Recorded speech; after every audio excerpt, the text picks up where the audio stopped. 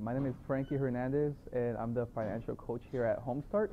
Uh, basically, helping clients reach their financial goals, uh, certain budgeting, open a savings account, and just helping them out, knowing where the resources are for um, for finances. Honestly, uh, honestly, I love the event. Um, there were so many things um, that she said, which which uh, impacted my life and the client's life with saving, um, uh, savings account, goal settings, and it was judgment free. So that's what I actually love that the whole floor was opened up and and we could ask as many questions and she would actually answer all our questions that we had.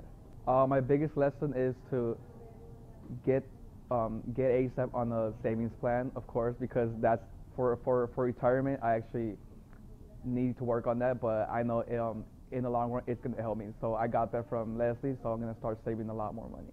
Oh yeah, of course, this is honestly very, um, very impacting for everyone. Uh, this is um, pretty much like self knowledge that that she went through, and she's passing it down for for other people to actually learn and and grasp the, all that education and learn from there. It's it's uh, I really do recommend anybody to attend this.